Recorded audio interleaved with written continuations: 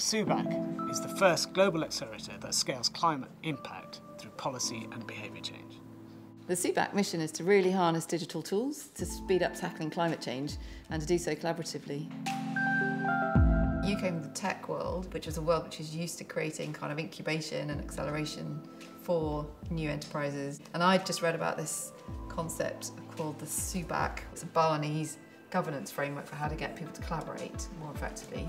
I think we just started talking about whether we needed to do that for NGOs, didn't we? What I've found in the not-for-profit sector, there's a lot of siloed organisations kind of ploughing their furrow, really head down, focused on the job in hand, but then reinventing the wheel or hit, coming up against common problems and having to work their way through them.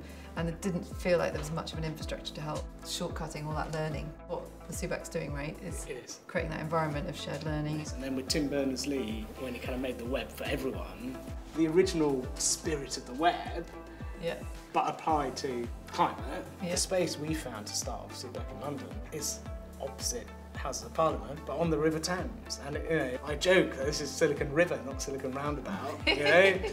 We've got this really great mix of talents, haven't we? That I think it creates a, a type of environment that's very different to your traditional green NGOs. Just it brings us a, a slightly different perspective, which is, is hopefully going to mean that we just can move in new ways that come at the problem from slightly surprising angles. If it's open and public and you can then process it and you can start to fill in the gap. And then if you're a non-profit and you're opening up your methodology for scrutiny, you can be a force for good. Data is not the new oil, it's the new water.